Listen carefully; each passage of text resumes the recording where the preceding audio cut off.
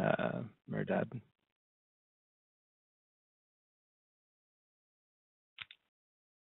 Sorry about that. You can hear no me? No problem. Yep, sounds good. Okay. Awesome. Thanks, Clay. Greetings, ladies and gentlemen. Um, here is the title of the talk. I guess you're familiar with it. I'm not going to talk much more about it. Let me introduce myself, first of all, um, as soon as I get my mouse set up here. Uh, so, you know, who's talking here? Um, I, my name is Mehrdad Soltanzadeh. Uh, I have about uh, more than uh, two decades of experience uh, in the area of geomechanics. I have degrees in geological, geotechnical, and civil engineering. Uh, I've been practicing geomechanics in both academia uh, and industry. Um, and among my research and work, there have been a few caprock integrity assessment projects for, cap, uh, for carbon capture, utilization, and sequestration, or as we call it, CCUS projects. Um, I have taught geomechanics uh, at multiple universities, different professional associations, and different companies since. And since 2013, I've been uh, the instructor of a number of geomechanics courses at PetroSkills. I currently work as a director and geomechanics expert at Petrogem Inc. Uh, it's a company that provides consulting, training, and R&D services in different areas of geomechanics and geotechnical engineering. Uh, I'll go quickly through the objectives of uh, this presentation. It's more like a kind of educational presentation. Uh, in a nutshell, the objective of this webinar is to familiarize the audience with the concept and process of caprock integrity assessment for CCUS projects. If I want to go in a bit of more details, at the end of this presentation, I hope the audience will be able to recognize the hazards and risks associated with CCUS, be able to describe uh, at least at kind of preliminary uh, level the mechanical response of the rocks to CO2 injection, and uh, ultimately be able to explain uh, the generic workflows that are being used for caprock integrity assessment. Um, starting uh, with a little bit of introducing CCUS, um, as, which I which I mentioned stands for geological sequestration, as geological ca uh, carbon capture, uh, utilization, and sequestration. And it seems to be one of the globally accepted solutions for the problem of CO2 emissions all around the world. It's not the only solution, definitely. People are looking at several other solutions, but this seems to be working. And uh, as, as and, and that that's kind of we have we have the best witness of us as this map showing that there are several CCUS projects being considered in the world. That you see, there are a few uh, in the United States, in the Europe. We have some here in Canada. Um, and uh, apparently there are so many proposals out there. People are talking about uh, starting new projects, new sequestration projects, hopefully to be able to uh, address to address the problem of uh, net zero or carbon capture and sequestration with a kind of efficient way.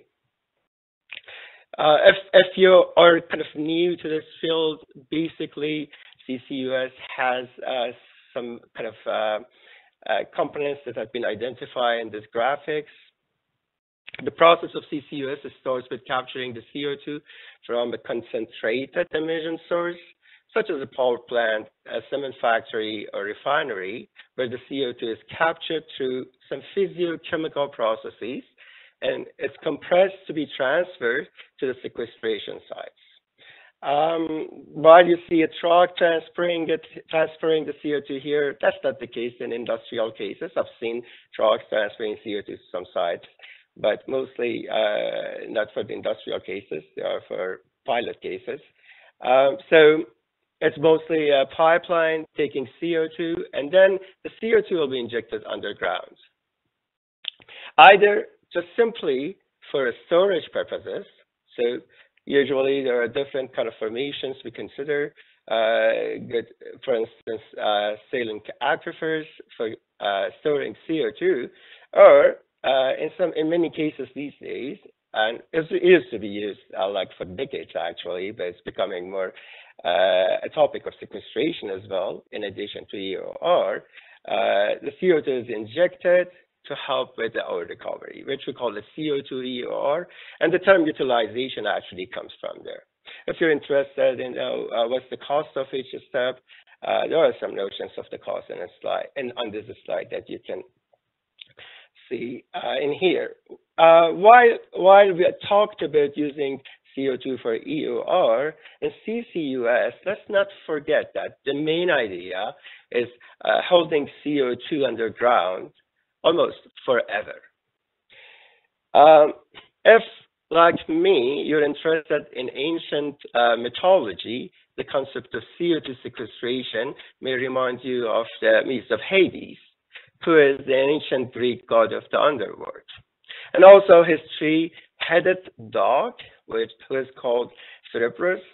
their jobs was mainly watching the gates of underworld uh, to make sure that no soul can escape from that dark place. Uh, and it seems that uh, in, in the case of CO2 sequestration, we are encountering a similar situation. Um, now, let's see who is supposed to wash the injected CO2 and prevent it from leaving its perpetual resting place underground. It seems a four-headed trapping uh, mechanism uh, is involved in withholding carbon dioxide underground.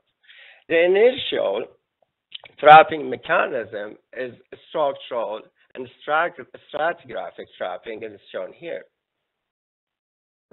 The low permeability sealing system, which is we usually call the caprock, is expected to hold the high pressure CO2 uh, and make sure it won't escape.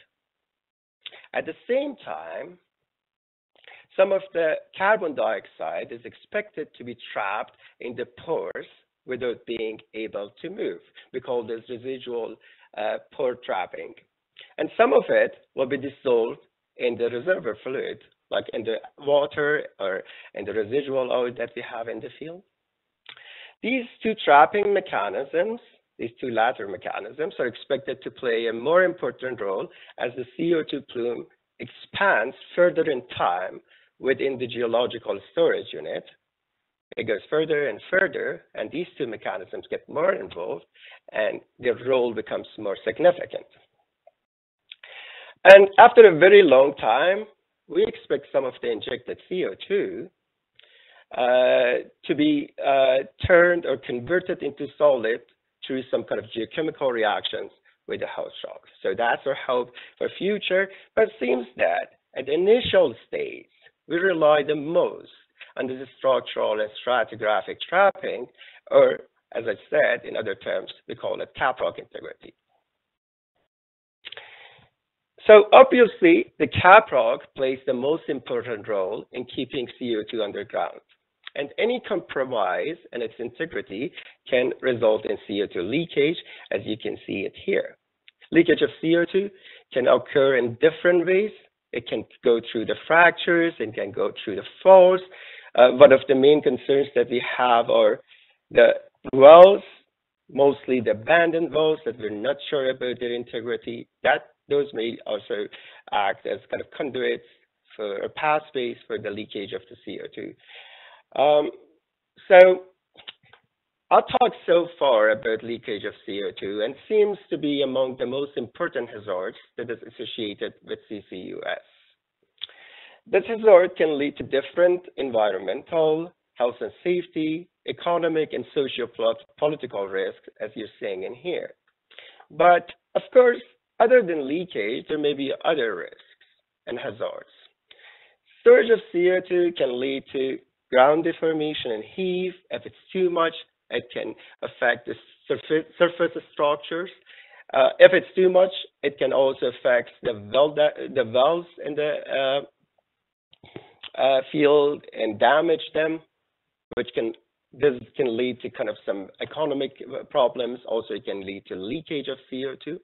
One of the main concerns that we have with injection in general, it's been happening all over the world, uh, for, for, for injection of waste fluid, for instance, or other types of fluid as induced seismicity, which comes through fault reactivation. Many people believe that fault reactivation itself can uh, make, make the dormant sealing faults uh, uh, in, in, kind of pass in, into some pathways for leakage of the carbon dioxide.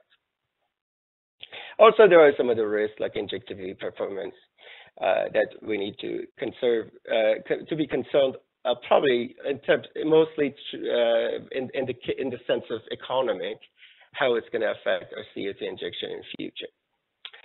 Uh, most of the hazards that you see in this list are, are studied under the umbrella of caprock integrity assessment. So we use this kind of generic term, caprock integrity assessment, and whenever we're doing this process, we try to evaluate these different hazards, and at the same time, uh, make sure that the risks that are, they are imposing to a project are not significant.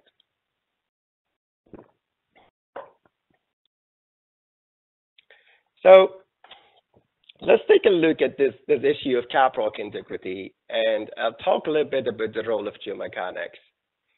Um, one of the initial factors that we study in caprock integrity uh, is to ensure that the injected CO2 simply cannot leak through the intact caprock as a result of capillary leakage.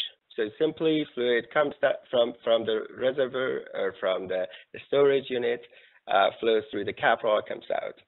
And it's, it's not hard to do that. There are tests that we can uh, do on the rock samples, making sure that uh, its conditions are favorable for uh, uh making sure that this le leakage or fluid is not happening. Another one is, uh, which can threaten the caprock integrity, is that the sealing characteristics of the caprock are somehow uh, being deteriorated by physical, by physiochemical processes. For instance, by dissolution of the carbonates, uh, we may create some pathways in the caprock. That's another concern that we need to address. This is happening mostly through geochemical studies. Another important possibility for losing integrity is through geomechanical changes, which can result in damaging the valves uh, initiating new fractures or opening the existing fractures, and as I mentioned, fault reactivation. So in this presentation, I'm trying to focus more on this geomechanical mechanisms, especially fracturing and fault reactivation. Um, to explain um, how a geomechanical problem is solved, I usually use this simple definition um, according to this definition, geomechanics studies the mechanical response of the rock to the events that disturb their initial state. This means that in any geomechanical problem that you want to solve, one of them being this uh, problem of uh, CCUS, caprock integrity, there is an initial state that is being disturbed and leads to some mechanical responses. In fact, our main task in geomechanics is to find this mechanical response. To do that, we want to make sure that we have a good understanding of this initial state and how this disturbing event works. Now, I'm going to use this definition to explain the problem of caprock integrity. Now, let's talk about the disturbing event. There are different mechanisms that can disturb the initial mechanical state of rocks, which have been listed here. So you have deformation. For instance, if you have tectonic forces, they're leading to deformation in the rock, and they, create, they can disturb uh, the rock and lead some kind of mechanical responses. When you're drilling, in fact, you're changing the geometry of the rock. In the case of CCUS, the main disturbance mechanisms are changes in pore pressure and temperature. The injected CO2 in the rock usually is a kind of supercritical condition, and therefore it is injected with a high pressure and also low temperature. So these two effects are expected to lead some kind of lead to some mechanical responses in the rock, which I'm going to talk about them here. let's see, what should be, for instance, that's an example, basically. I'm going to talk about temperature later. Let's see what we should expect when pore pressure in a reservoir or a storage unit is increasing. In a similar way that you can inflate a balloon while holding it in your hand, we expect the reservoir to start expanding. When it's expanding, it's going to push the surrounding rock, for instance, overburden, side burden, or underburden of the reservoir storage unit. And even as a result of this pushing and deforming, it can result to some uh, heave at the surface and ground deformation uh, in locations which are really far from the reservoir itself.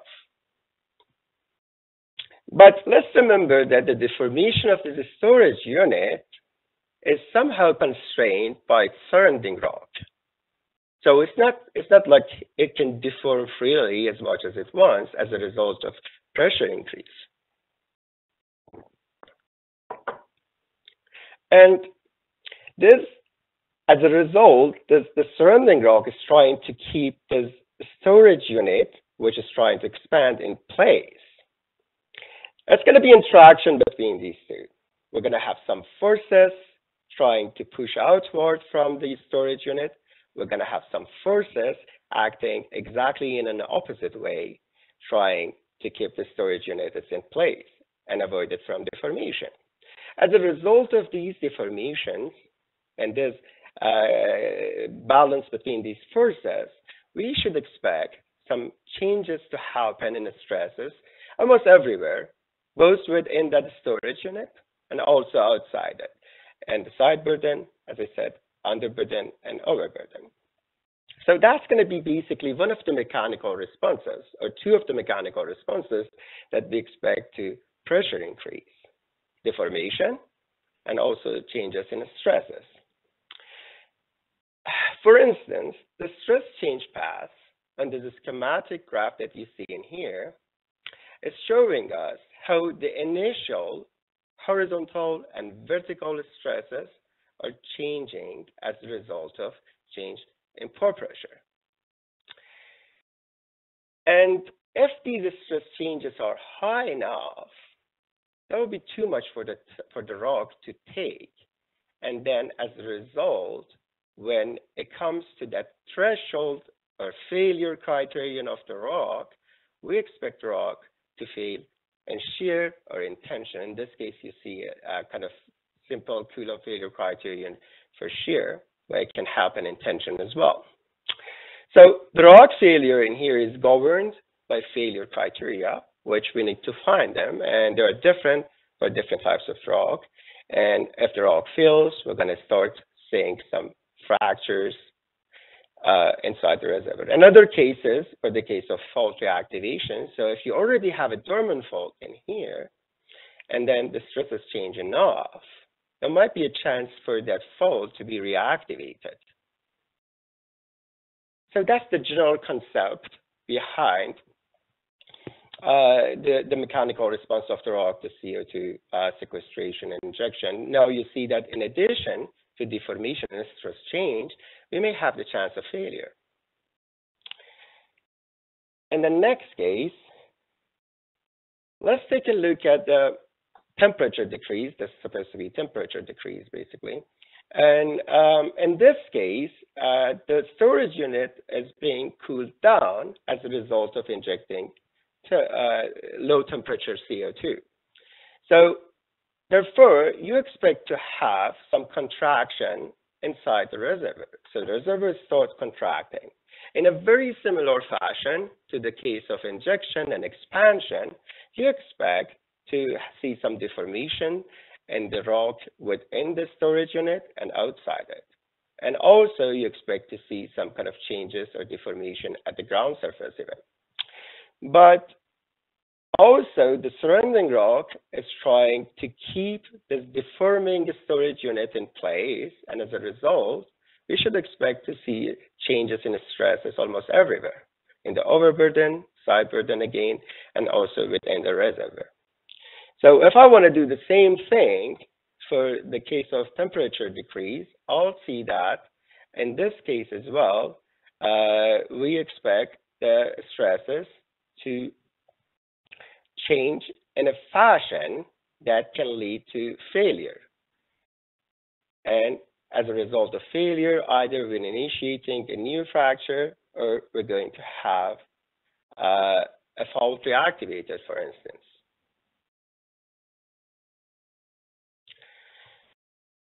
Now let's let's put everything together in here.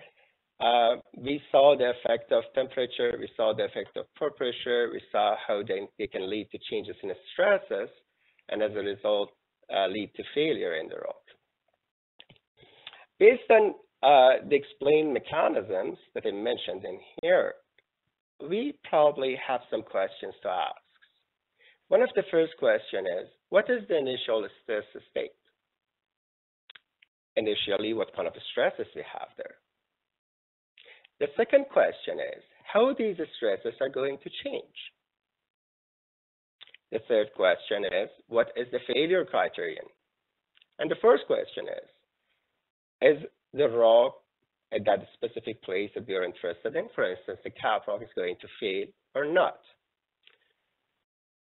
So while answering these questions, we'll get some more information. We also know how much is the deformation of the rock. And is that deformation enough uh, to kind of compromise the reliability of the project? It can lead to uh, problems in the valves, damage them, or it can lead to big changes at the surface and create uh, some issues uh, for the structures at the surface, like pipelines, for instance. Now, the main intention of uh, me in this talk is trying to go and answer some of these questions. So the first thing that we need to address is finding initial stress state. What is the vertical stress? What is minimum horizontal stress, maximum horizontal stress, and what is the horizontal stress orientation? These, these four different stress components, uh, they're not always kind of the best representative of stress state in the rock, but in many cases, we can assume that they work fine for us. Uh, and one of the main tasks that we do in almost every geomechanical problem is trying to find these uh, different parameters. For vertical stress, uh, we can use uh, caprock integrity, uh, we can use density logs. We do some integration on them to find them. For minimum horizontal stress, they can be measured or estimated by field tests like mini-frac tests. We use some other ways like poroelastic modeling to extend the results of mini-frac tests uh, from a point to a thickness of a reservoir, for instance, or even further to the complete thickness of the rock. Uh, maximum horizontal stress, or SHMAX, is extremely hard to measure. Uh, there are some ways, basically I cannot measure it, I would say it that way, but there are some ways that we can estimate some range of variation for it, mainly, mainly from the drilling experience by reverse analysis. Horizontal stress orientation, on the other hand, is not too difficult to find because there are several different ways or indicators that can help us uh, to find out. Probably one of the best is the drilling induced indicators that we see on image logs. So that's pretty much a very kind of uh, short review of how we can find uh, stresses. Uh, now let's talk about the failure criteria. So failure criteria means that if the rock is expecting to fail or not fail uh, under uh, specific uh, arrangements of loads, stresses, and deformations. Failure criteria are usually found by testing the rock in the laboratory. They can be as simple as the Coulomb failure criterion that you see in here as a simple line, or they can be complex 3D uh, failure criteria that we need to do some kind of more complex tests, complex, complex tests in the laboratory, like poly, poly, polyaxial tests, and instead of this simple, simpler triaxial test that we do for the Coulomb failure criterion. Now, let's see how this stress change path is found. As I mentioned, in the case of CO2 injection, the main drivers behind changes in the initial stress state are variations in pore pressure and temperature. These variations are usually calculated by reservoir simulation. which I'm going to show you some examples later. Uh, and these reservoir simulators are using the rules of fluid flow and heat transfer to tell us how the pressure and how the temperature of the storage unit is changing when CO2 is injected. This is an example from a case that I'm going to talk later about, uh, but um, just I want you from here see that the patterns of change in pore pressure are very different from the patterns of change in the temperature. Now, imagine we know how pore pressure and temperature will vary, and we want to find how they relate to changes in in situ stresses.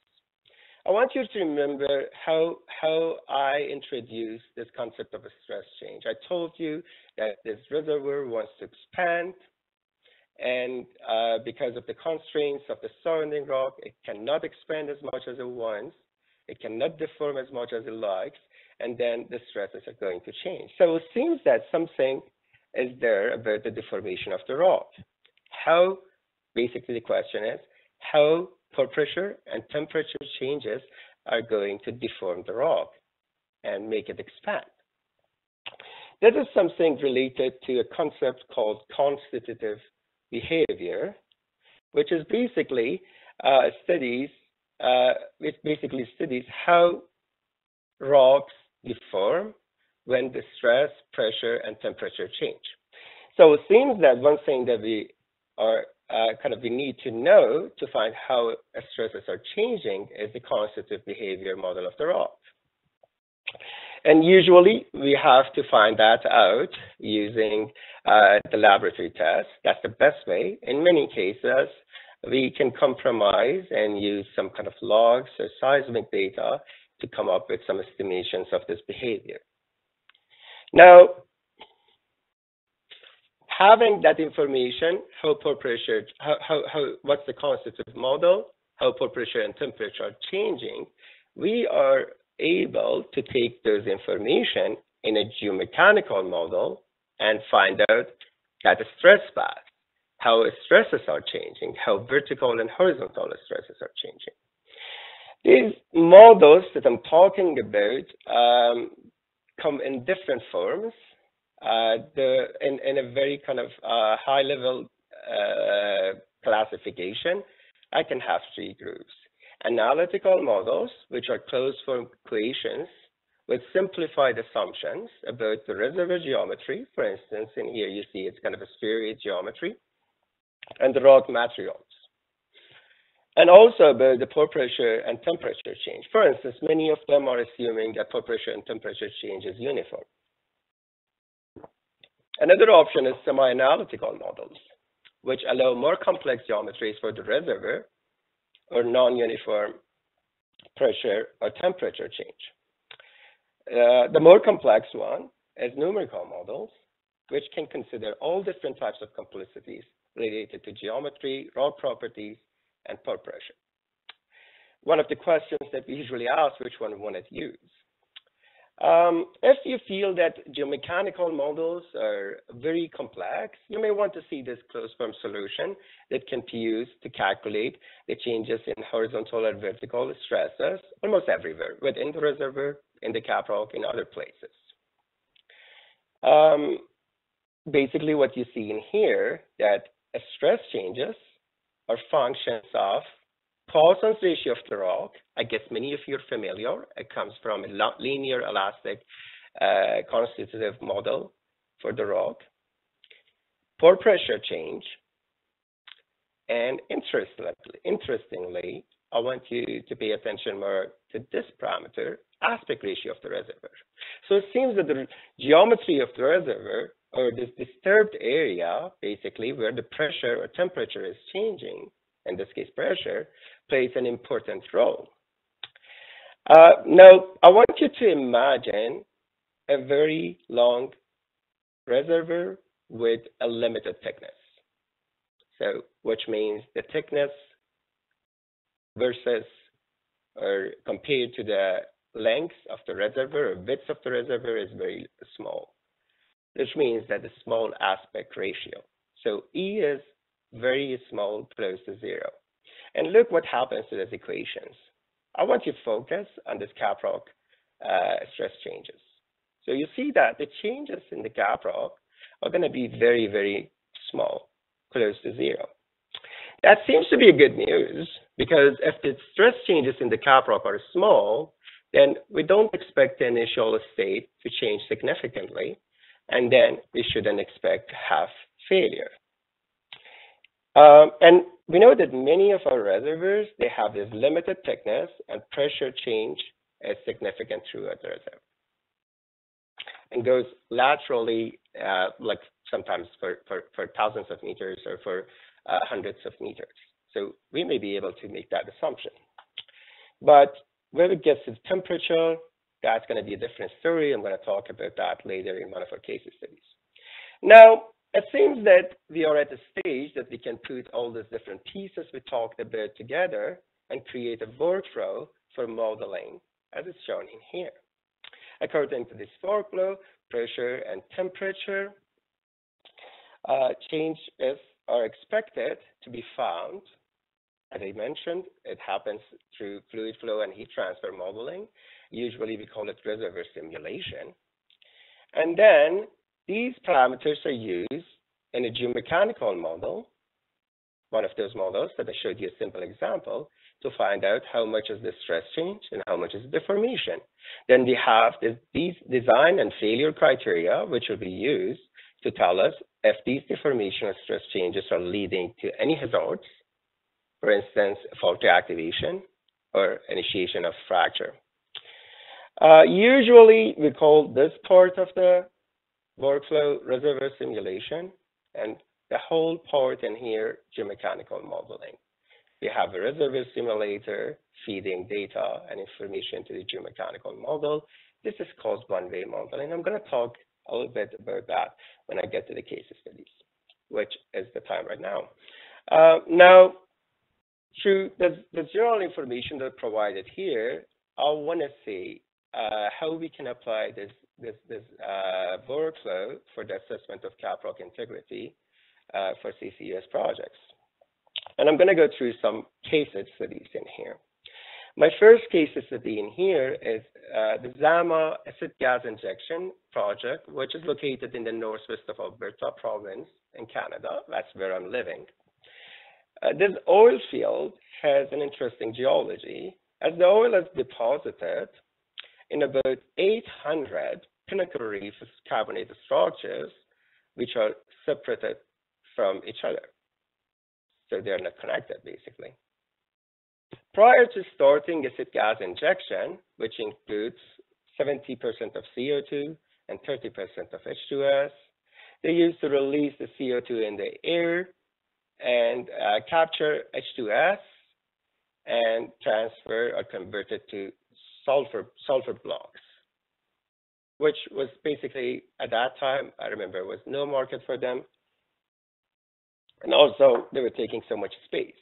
But in 2006, they started injecting CO2 within this pinnacle reef for both EOR and storage purposes. The objective of the geomechanical study, which I'm going to uh, present here or briefly mention here, was finding the potential for fault reactivation during isothermal production injection in these reservoirs. And when I'm saying isothermal means that the effect of temperature was not considered. So the stress change model that uh, was used here was a little bit more complex than what I showed you before. Still is a closed form solution, uh, but it has this limitation that it has to be run for a spheroid-shaped reservoir. One thing that we did, we compared the result of this spheroid-shaped reservoir with the actual geometry of the reservoir using a numerical model and found that the answers are pretty similar or consistent. So that means that we are able to use this model to find out how stresses are changing within the reservoir, also everywhere in the side burdens, caprock, and underburden. The idea here wasn't finding stress changes. We use a kind of reverse uh, way. Uh, and then use those equations to find out what's the critical pressure change that can lead to fault reactivation. So these equations that you're seeing in here were kind of enabled us to find out how much is this pressure change that can lead to reactivation in both cases, because there was a kind of CO2 EOR or acid gas injection and production case, uh, we had to consider the effect of production and injection altogether. Now, the question was how we can find rock properties. We went to all the public uh, materials and tried to find uh, every test or every parameter from the logs that could help us to find out, for instance, what is Poisson's ratio. That was an important parameter you saw there. Uh, what's the elastic parameters in here, like Young's modulus of the reservoir, Young's modulus of the cap rock that you're seeing. And also, what's the friction angle for the rock, what's the friction angle for the faults. And we came with some numbers, but was a limited number of uh, parameter uh, uh, values that we could find through our search. That's why we decided to go uh, with probabilistic analysis to address the uncertainty that we were seeing in data. So basically, uh, we went with a normal distribution. What was the minimum value? What's the maximum value, average, and standard deviation, and our analysis. This is the result of analysis which is telling us, for instance, that in the case of injection, uh, if we inject with a pressure change or pressure increase less than 11 MPa, seems to be that we are safe within 90% of the confidence. Also, we can see, based on this analysis, what parameters are important. In this case, is the minimum stress and fault friction angle. So we can put more time on investigation and doing tests and analysis to find these values. Uh, if you're curious that where in this case was the most uh, favorable place for fault reactivation or analysis, uh, confirmed that it's the side burdens. So for the side burdens, in the case of injection, you need 12.6 MPa with 90 percentile uh, confidence to create a reactivation. In the case of injection, it was 6.6. In the case of production, it was 6.3 pressure decrease. Another example that I want to show you is from the Heartland area, Redwater, uh, in, also in Alberta, it's in central North Alberta almost. The idea here was bringing CO2 uh, from this industrial area, the gray area you see here, and inject it in this huge reef, which is in a close by, very close almost, uh, and it kind of overlaps in some areas. This reef is Redwater Reef. It's kind of one of probably the largest oil field in Alberta. But the idea here wasn't injecting CO2 for the purpose of EOR or in this depleted uh, area, I was injecting CO2 down here in this dolomitized high porosity uh, uh, location, which shows, uh, which has kind of high injectivity and high capacity. Uh, in this case, there were several groups working on uh, geophysical characterization and also uh, geological characterization came up with a very fine model of uh, different layers that you're seeing in here. And we turned that in a geomechanical characterization model, or some people may call it mechanical earth model, uh, which identifies the reservoir, different cap rocks that you see in here, and different layers. We use different types of rock properties from logs and laboratory wherever possible to come up uh, with characterization of different, different parameters, for instance.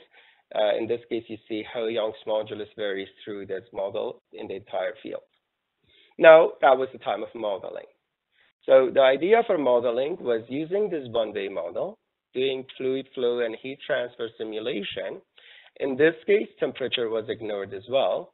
Only pressure effect was considered and then doing geomechanical modeling, find the stresses, deformations, and find out if, if there is any risk for this specific uh, CCS, CCS project.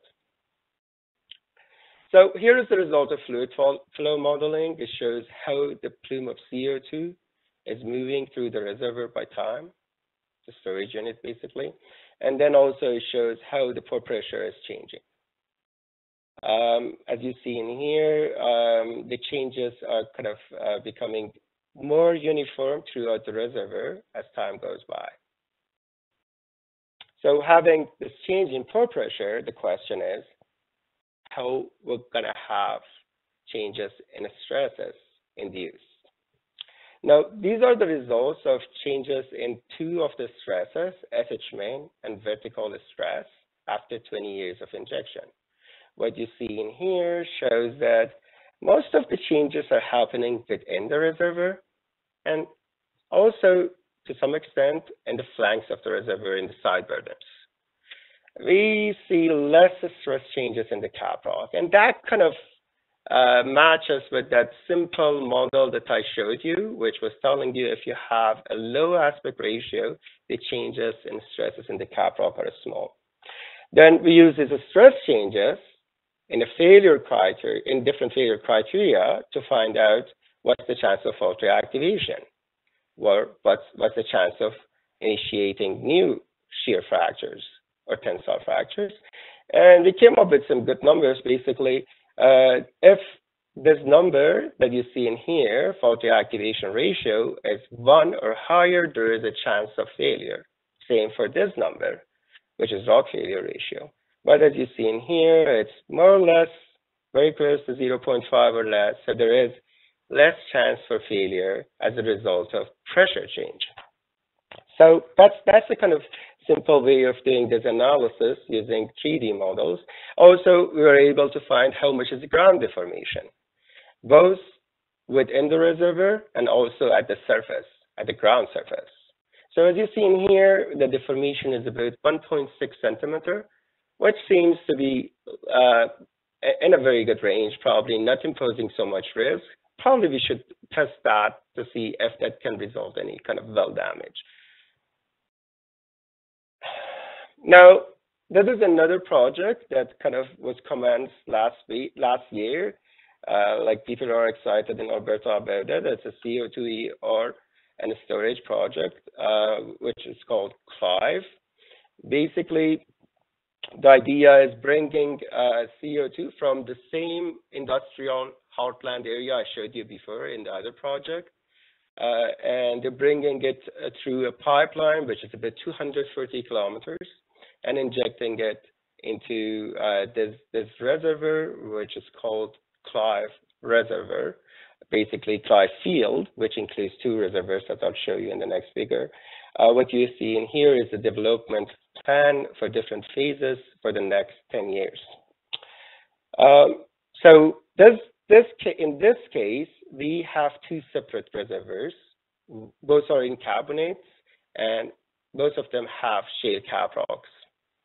And uh, for this case as well, we created a 3D model, coming up with an idea of how different parameters, uh, geomechanical parameters like stresses, uh, failure parameters, and also constitutive behavior parameters are changing through this field, and did the analysis, uh, and came up again for this isothermal case, we ignored the effect of temperature and we came up with similar results.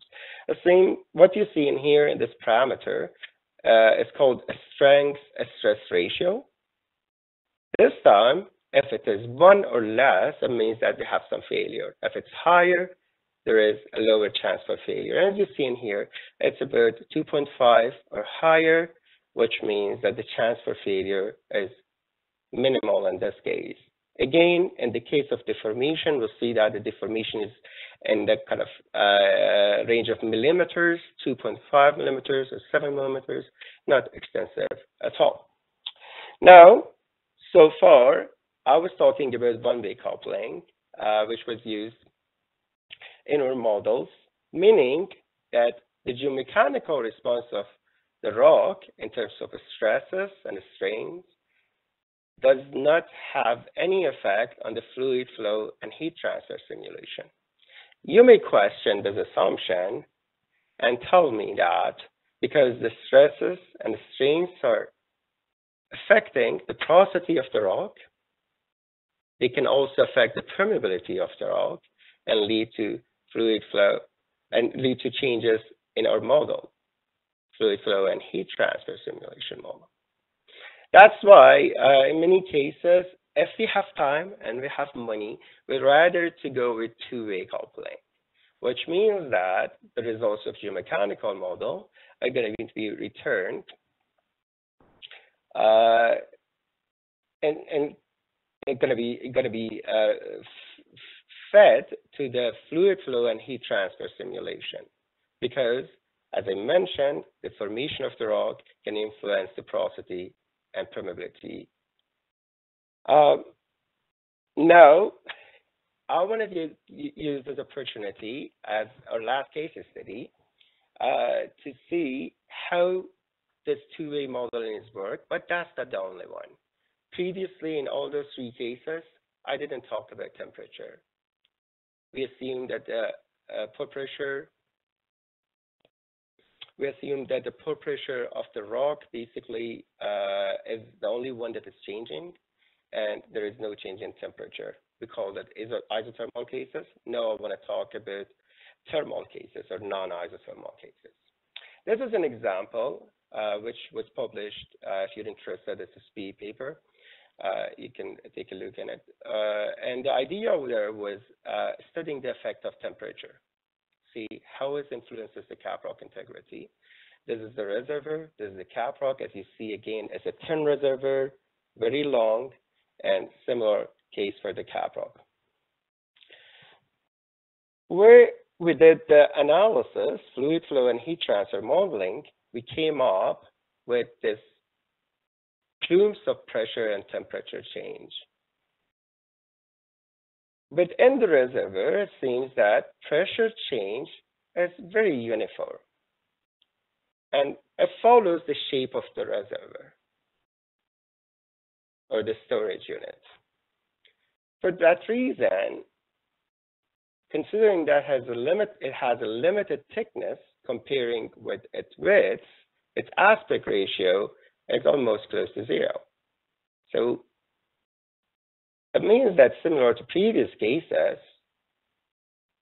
we may not have so many challenges in the caprock if the pressure change was the only parameter that is influencing the caprock integrity. But let's take a look at how temperature changes. Temperature changes seems to be seem to be very local. Look at the scale, lateral distance, and the temperature change is happening more around the wellbore. It seems that it's more through conduction than convection. One other thing I want you to notice, here is the caprock, that the temperature is also changing inside the caprock.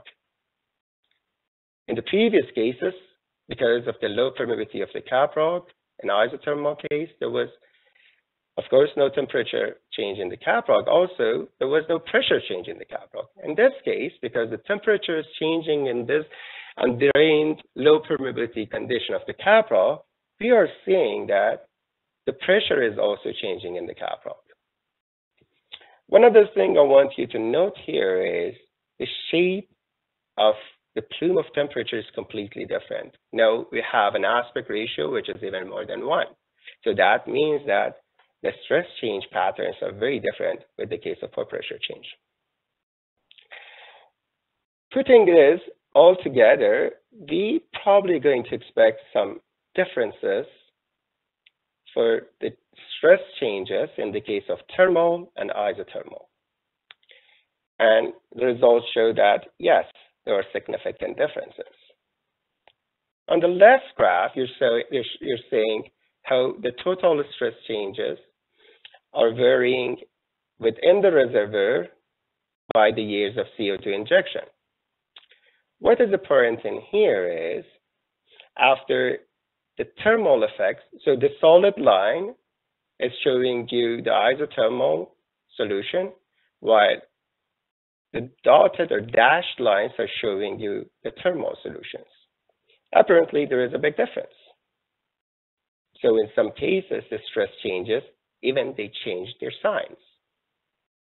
And that's going to affect the results of our caprock integrity assessment. That means that there is a chance for tensile fractures. Similarly, in the caprock, as I mentioned before, in many of the cases that we study, because of that low aspect ratio of the storage unit or reservoir, we shouldn't expect so much stress change in the caprock if pore pressure change is the only factor. But when we're applying the changes in temperature, you'll see big changes also in the caprock. As a result, it's likely that we're going to have uh, negative stress changes in the caprock leading to tensile fractures in the caprock, which is something that we don't like, definitely. These two graphs are showing the deformation patterns, both cases of thermal and isothermal. And as you see in here, for instance, in the caprock, uh, the solid lines, which are for isothermal case, tell us that we shouldn't expect to have so much change, deformation uh, in this case, while in the case of temperature change or thermal, we expect to have uh, significant changes in the deformation or strain, basically. So we're going to have rock deforming there. So all of this is telling us, considering the effect of temperature as important, unless you are sure. I, I was visiting a site in Germany. They were they were trying to bring the CO2 to the temperature of the um, reservoir. It was a pilot case, of course, and injected there. And that could have been considered an isothermal case. But if you're using supercritical CO2 trying to inject it, it's important to consider the effect of temperature. Now, let's go back to that concept of one-way versus two-way. Uh, I want to also mention that. So we, in this case, we studied the difference between one-way and two-way modeling. And you can see this clear difference between how pressure change is affected in two-way versus one-way in both the caprock and within the reservoir. How important it is depends on your the accuracy that you're after. In many cases, you may compromise and decide to go with one-way modeling, which seems to be much simpler, but we should always keep in mind that there is an effect that we are ignoring there, and maybe we should somehow consider it or account for it in a different way. So that was pretty much the presentation. Uh, let's take a look at, back at the, uh, at the objectives. I started with recognizing the hazards and risk associated with CCUS. Uh, I tried to explain some of the geomechanical mechanisms like how uh, we how, how how the deformations are leading to stress changes, the different parameters that are important uh, for us to identify for finding how these stress changes are happening and what's the likelihood of failure, for instance, or fault reactivation. And then I used some case studies to explain the generic workflows that we use for caprock integrity assessment, with some emphasizing on the importance of temperature change. Um, so I go I go through the slides. I know that we are we are short on time. Uh, so if here here are contact information, but I'm waiting for questions. If you have questions that you want to ask through email, please contact Clay or me. Thank you. Great. Thank you, Mehrdad. Um, and I will send out the resources that were the slides that you skipped over in case people are interested in learning more. Um, so we do have quite a few questions here, uh, so I will start running through those uh, now, and, and, and that will wrap up our session. Uh, the first question here says, how do you deal with an unstable initial state? For example, a depleted gas field that has undergone compaction and or fault reactivation and may not have reached equilibrium? That's that's a very good question. Um, first of all, there were so many uh, kind of important notes that uh, we, we are missing in this presentation. Uh, they need they need another opportunity, and one of them is this one. Uh, so, in cases that we have had a depleting reservoir, as it was mentioned in the question, there are chances that uh, somehow the sealing and integrity uh, of that reservoir or that caprock has been lost during the production. Uh, something this is very important to be studied. Uh, how to deal with it in geomechanics, we usually go and run our model through the production. I gave you an example in the case of Zama. We ran it also for production to see how much those changes uh, are, how important they are, and how they can compromise the sealing characteristics. But uh, in addition to that, uh, one of one of one of probably the best ways is doing the monitoring. So baseline monitoring before starting CO2 injection, making sure that uh, the chances that uh, I guess that there might be some kind of uh, evidence showing the leakage of hydrocarbon through those uh, reactivated faults. That's something to consider. But this is this is a complex issue that needs to be taken uh, seriously and more more definitely more more characterize more, more sealing characterization need to be considered. Thanks for mentioning that. All right. Uh, next question here asks, uh, can you comment if there are trends for reservoir and caprock types regarding the pressure and temperature effects of injection? And then comments, I would assume over time that pressure is most important initially, and then over time, the temperature. Uh, in terms of time trends, I would say we expect the temperature to equilibrate, come to kind of equilibrium condition after a while with the reservoir. So we expect the effective temperature, and maybe maybe I can go back in this slide and show you how it happens.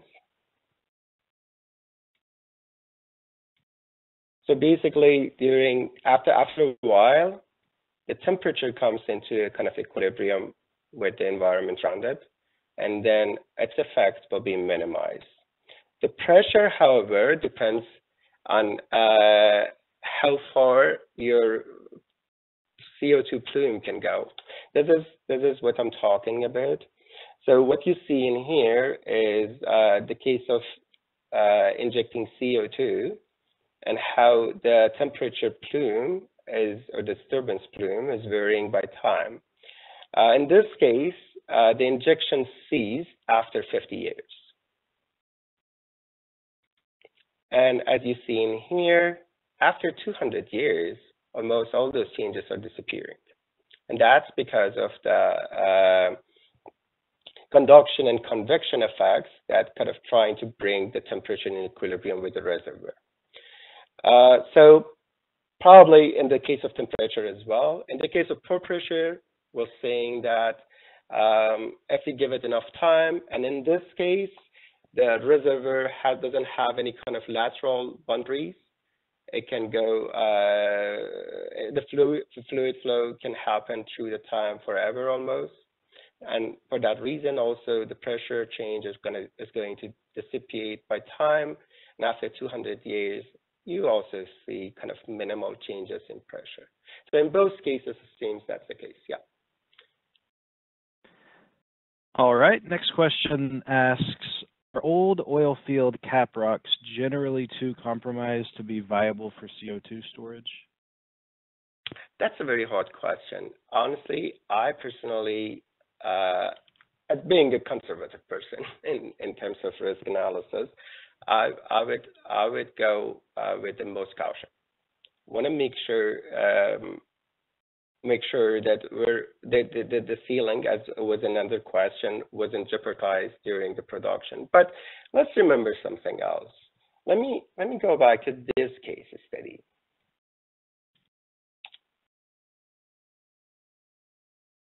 That may help to answer your question in a different way.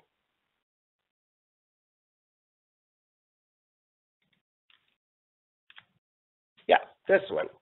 So in here, seems that we have a caprock. For instance, imagine we are injecting in Leduc formation, which is the case happening right now. Now, we have one caprock in here called Ireton.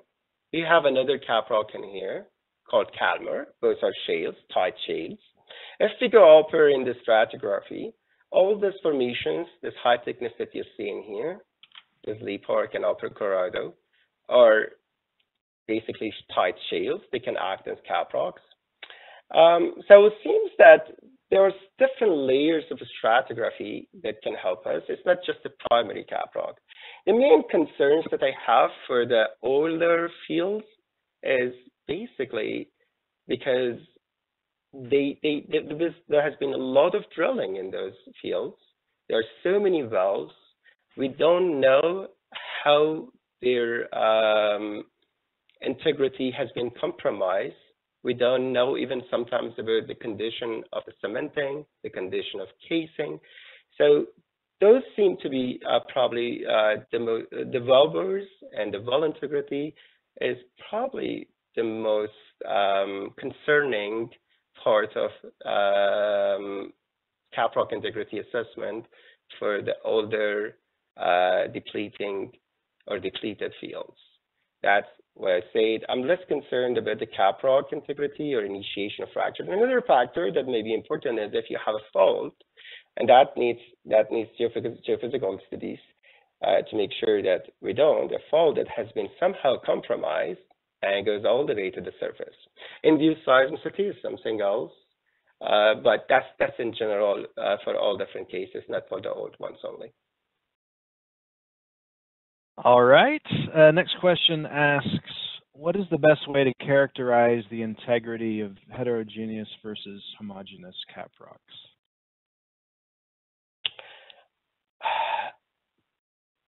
Probably first of all, I'd go with characterization. Do the right characterization, as much as sample, as much as um, logs, as much as um, different different parameters that you can find. And then when you collect everything, I suggest going through integrated characterization. And by integrated characterization, I that that's probably subject of another talk, but there are so many different data sources that we can use for characterizing geo, geomechanical properties. Drilling, uh, seismic, microseismic, uh, even fracking data if you have any completion data, uh, even production data. So the idea is bringing it all together, doing the best characterization that you can. That's what I call it integrated characterization. The next step is if you want to model heterogeneity, probably the best 3D model you can find is through your seismic. So use your seismic uh, to come with a representative model. Of course, seismic is just a part of that integrated workflow, characterization workflow. There are so many other sources. The seismic needs to be calibrated. We shouldn't rely only on seismic. Doing after we're done with that, maybe the next step is doing probabilistic analysis and geostatistical analysis to account for the uncertainty uh, that we have in the heterogeneity of the caprock, or even the reservoir. Uh, I would suggest doing the, the, all these steps together, making sure that we collect the best data, do the right integration, use the seismic volume to populate our data in 3D, and then in the next step, using probabilistic analysis, sensitivity analysis, or geostatistical analysis to do a good characterization of uncertainty. All right. Uh, we got a few different versions of this next question, so I'll, I'll try to paraphrase here. Uh, globally, do you have a sense of what percent of reservoirs have failed and released some of their contents? I do not. I, I haven't done that kind of a statistical uh, survey to see, but there are some cases. We know even that in some cases we have hydrocarbon flow through uh, naturally, not even as effect of depletion. So that's something that been, uh, it's possible, it's likely to happen. We should consider it an analysis. But um, if, if if you look here and there, it's it's it's it's not like so common. So the thing is, if if you see as a result of production, something changes, induced seismicity happens, for instance, fault reactivation happens, or if you see a leakage of hydrocarbon, usually it comes into the news. Is that right? So it's, it's not a common, a common thing that happens, but definitely something to consider. All right, next question here is, how do you monitor pressure and temperature changes to update these models? And are there sensors installed? Are you using wireline logs or other methods? Um, there, I there was in a slide that, considering the time, uh, I, I, removed it from the set of slides. But the idea is, and I, I, really thank you for that question, is the idea is we should remember, Jim, this caprock integrity assessment modeling is not a one-time thing. It's a dynamic process, which has to go through the life of the field and also even after ceasing the operation. So as soon as new data become available, pressure data, production data, injection data, and also temperature changes, pressure changes, all the things, uh, as soon as they become available, stress changes, for instance, we, if, we, if we can do any measurement of stresses in these fields, we need to feed it back to the model and make sure that our model is calibrated with this new data and new conditions of the field. To answer your question, wireline log seems to be something that's being used. These days, people are using about sensors, for instance, in um, in, in, in the case of uh, uh, heavy oil production, which they are dealing with a different type of uh, thermal problem. In this case, is high temperature steam injection. Uh, they're using sensors at the same time they're using fiber optics. So they're bringing it all together to make sure that they have a nice characterization. All right, and uh, we have time to get to a few more here. I'm sorry if we're not able to get to everyone's questions, but again, you do have our contact info, so uh, we will make that available afterwards. But uh, the last few, we'll just see how many we can get to here. Uh, is there a potential for local microfaults resulting from the brittleness of the cap rocks uh, due to cold temperature of injected CO2 and the accompanying high pressure? Oh, there is. Yeah. So if you have a fracture network in any way, it's, it's a chance that uh, they can open up and act as uh, leakage path. Also, even if you don't have fractures there, you may initiate new fractures there as a result of low temperature. That's at least what analysis is telling us. It's a complex problem, and that's I'm saying that it's uh, mostly at the kind of R&D level right now, and people are working trying to characterize it. Answer is then yes. All right. Uh, next question is, would the workflow for seal integrity assessment be different in the case of a saline aquifer compared to a hydrocarbon reservoir? I guess it goes back to the initial question that we had before. Um, yes, it will be different. And the reason for difference is we need to do different analysis. So if you have a depleted reservoir, you need to characterize and do the modeling to find out what happened to it during depletion. So what happened to it, basically, uh, stresses may have changed. We know that pore pressure and temperature, pore pressure most likely has changed. The stresses may have changed. And those stress changes may have led to some kind of uh, failure in the reservoir, in the caprock, fault reactivation. We need to make sure to characterize that before going to the case of injection. If you're casing, eh, eh, and and then we come to the to the case of injection. That's the story that I already told you. If you are talking about depleting reservoirs and using CO2 for EOR purposes, that's going to be also a different procedure. Basically, uh, you there is there's something called loading and unloading that's a simple example to show you how we should treat those kind of problems. Let me go back to that slide on constitutive model. This one. Uh, so in here, what you're seeing is two different lines, loading and unloading. And as you've seen here, the behavior of rock is completely different in these two cases. So basically, during loading, which Loading is a kind of um, similar to production, and unloading is similar to injection. So during loading, you have usually plastic deformation in, my, in some cases. You have more deformation even during unloading. In many cases, or injection, in many cases, your deformations are smaller. They are um, elastic, not plastic.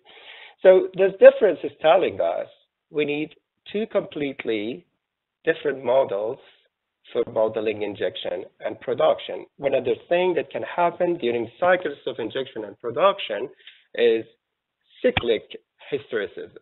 So when you have uh, several cycles of injection and production, your rock properties are going to change. We call this hysteresis. So in that case, yes, we need to we need to consider all these effects into account and do our modeling based on that. Okay, uh, then we'll get to two more questions here. Uh, is there any any practical cutoff for porosity or permeability that you use for target selection? I didn't choose the targets, so I'm not the best person to answer. I did the caprock analysis mostly. I'm a geomechanics person. I can refer you. I'll probably you can contact me directly. I can I can send you a very very good paper uh, on on a group of people in the Research Center here who use the different criteria to choose and select those uh, most uh, uh uh, most most effective, uh, the best basically formations, uh, was in this case was aquifers, and I guess they did some studies on the depleted reservoirs as well for CO2 sequestration. But definitely we need to have high uh, porosity, high for for the for the sake of capacity, high permeability for the sake of injectivity. I don't want to give you a wrong number in here as a cost. yeah. Sure. Uh, and then the last question here is, how will horizontal wells affect temperature uh, effects? They help? Uh, that's a very good question. So the analysis that I did in here, in that case, is the was for verticals. Well, and as you've seen here, the changes in stresses and change, changes in temperature are very local, happen close to the well.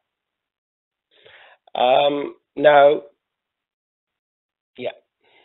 So they're happening very close to the well. Now imagine that you have a horizontal well. The first thing that happens in the case of horizontal well, you have a higher, a, a kind of larger area of uh, the reservoir being exposed to this low temperature.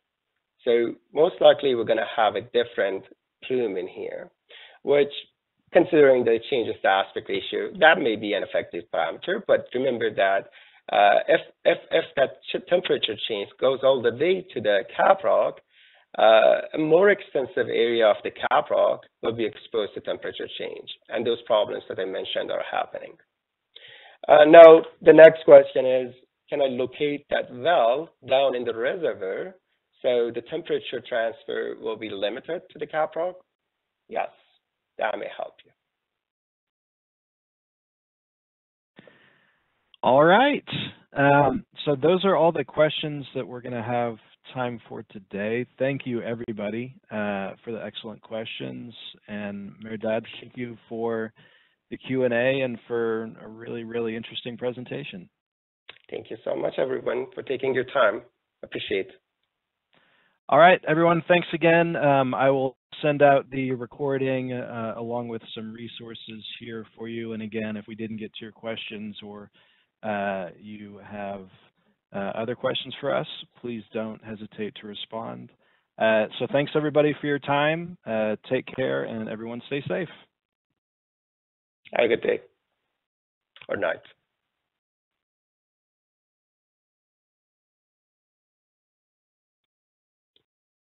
Thank you so much, Clay.